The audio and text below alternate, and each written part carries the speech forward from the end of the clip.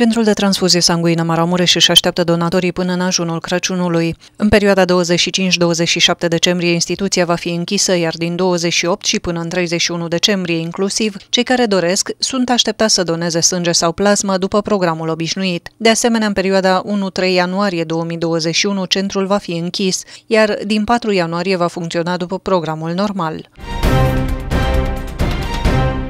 Consiliul Județean Maramureș a premiat ieri performanța obținută de elevi și profesori în anul școlar 2019-2020.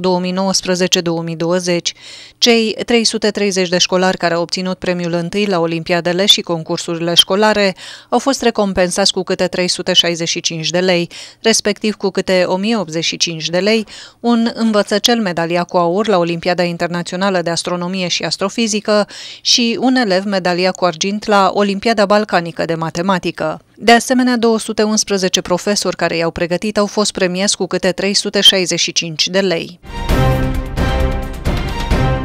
În perioada sărbătorilor de iarnă, muzeele din Baia Mare vor funcționa după un program special. Instituțiile de cultură vor fi închise în primele două zile de Crăciun, respectiv 25 și 26 decembrie. Doritorii le pot trece pragul în perioada 27-31 decembrie, programul acestora putând fi consultat pe paginile afișate. În zilele de 1 și 2 ianuarie muzeele vor fi închise, iar din 3 ianuarie vor funcționa după programul obișnuit.